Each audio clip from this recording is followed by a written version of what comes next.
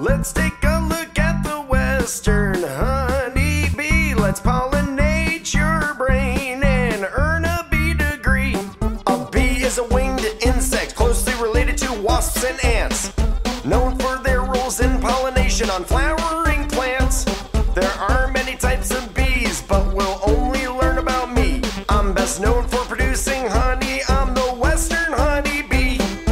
Apis mellifera is its scientific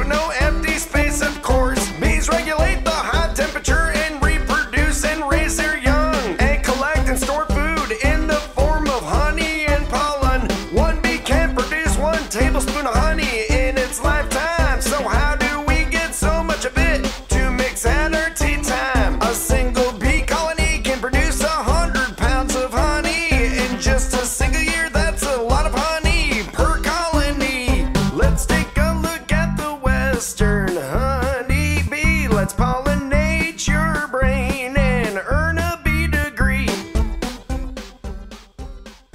Thanks for watching KLT. Please subscribe to this channel, like our videos, and check out the KLT merch store.